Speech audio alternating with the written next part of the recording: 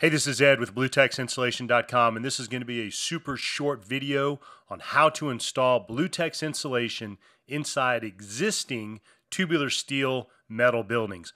I just made a 15 minute video that covers all the details on how to do this, but this one is just going to cover the basics and the highlights. You can check the description below for a link to that video.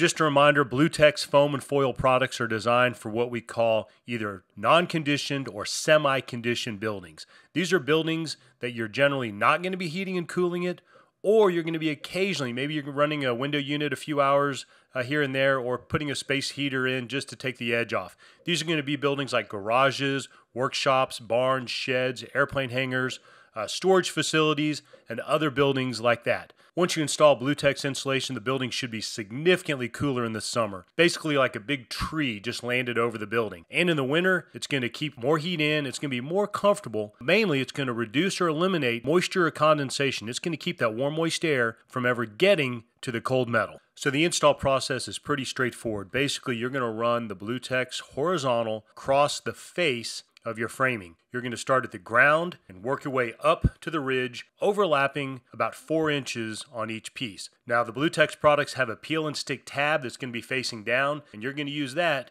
to attach or seal between the pieces. It's best to use self-drilling screws and washers, which we can provide, and also some extra 3-inch white tape for the corners or any cuts or penetrations or splices. The biggest challenge you're going to run into are three areas, and that's the corners where the two walls meet, also the gable ends where the gable end comes into the roof, and also the transition between the roof and the sidewalls. Basically, in these areas, there's no good place to screw into. So what we're going to do is we're going to add some wood strips to these corners. Basically, you can use a 2x2 or you can use a 2x4 and rip it, but essentially you're going to use self-drilling screws. I'd pre-drill the wood, connect this wood onto these corners to make what's called a hard corner. So if you've ever done drywall, that's basically what you're doing. You're creating a hard corner for the BlueTex to attach into. For the transition between the wall and the roof, I'd put either a 1x4 or a 1x2 up in this corner. Basically install it up there kind of like crown molding. This way you have a hard corner to make that transition from the wall to the roof. Once you get your wood strips in, then you're going to do what's called marking it up. And this is probably the most critical step to have a great installation. What you want to do is take a Sharpie. That first piece is going to be 48 inches from the ground to that first, uh, the top of the piece. Just mark a mark right there at 48 inches. And then you're going to go up another 44 inches and put another mark. Put Sharpie marks all the way around the building. That'll give you a four inch overlap. From your second piece, 44 inches up again. And keep going all the way to the top until you hit the ridge. Next, you're going to start installing your blue BlueTex pieces. You're going to start at the ground with a tape tab facing down. Ideally, you have three people, one on either end to pull it tight, and one person in the middle to attach the screws. So start in the middle on the framing, two screws per frame, and work your way to the ends. Check the long video for more details about how to do the ends. From here, you're just going to work your way up the sidewalls all the way until you get to the center ridge. On both sides, you should have a little overlap. That's okay. Just put a couple extra screws and use some tape to seal the seam. Then do your end walls and tie it all together. Finally, the last thing you're going to do is if you got any doors or windows, trim around those, and use the 3 inch white tape to clean those up. So that's a super short version of how to install BlueTex insulation inside existing tubular steel metal buildings. Check out the longer video for more details. I tell you how to handle the corner braces, how to deal with things like conduit, and also how to pre-paint your screws and washers. For more information, visit bluetexinsulation.com.